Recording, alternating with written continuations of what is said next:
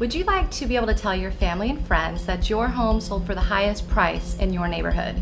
Well, you can if you understand that getting the highest price for your home is a direct result of getting multiple offers, which only happens if you get the maximum exposure for your home. The internet has really changed the way buyers search for property. No longer are the days of them walking into a local real estate office in that community and asking for a list of homes for sale. Now, buyers go online and search for property on a number of different sites in the luxury of their own home.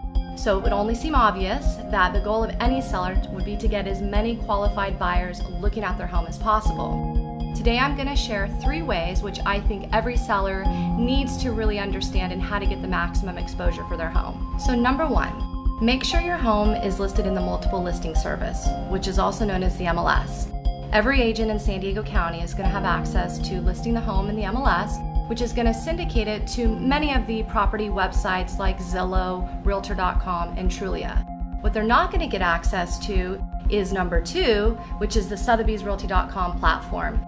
This is really an additional layer of syndication that's going to go out to all of our exclusive partner sites like the Wall Street Journal, the New York Times, James List, and a lot of high qualified uh, targeted website partners that are really going to deliver qualified buyers.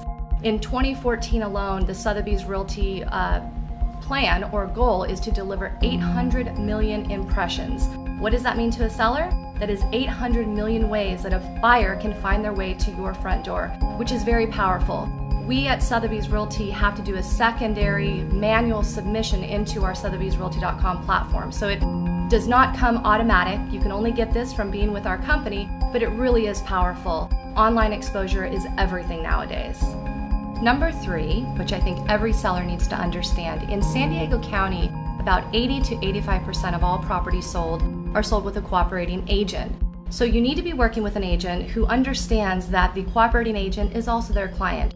So they need to be able to answer their phone promptly, follow up. Seems very basic, but they need to make sure they're showing up to showings on time because in many cases that other agent is going to help show their home. They also need to be out pitching the property at every local realtor pitch session in key demographic areas because remember, the key to getting your home sold for the highest price is getting the most exposure possible. Be sure to check out our other videos, which are going to have tips about how to get your home sold fast and for the highest price. You can find those at www.sandiegodreamrealestate.com or be sure to like us on Facebook or subscribe to our YouTube channel to be notified instantly when we upload new videos.